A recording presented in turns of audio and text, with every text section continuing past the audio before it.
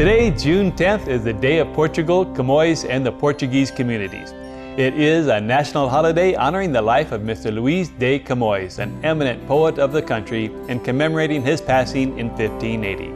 Mr. de Camões is renowned for the acclaimed epic poem Os Lusíadas, a tribute to the rich history of the nation. Adjacent to the North Atlantic Ocean and west of Spain, Portugal has many gorgeous locales. Among them is the Peneda Gerês National Park, which has remnants of ancient civilizations and is the habitat of the beautiful Garrano ponies. The Laurisilva of Madeira is the largest surviving area of laurel forest and is home to a variety of flora and fauna and many endemic species.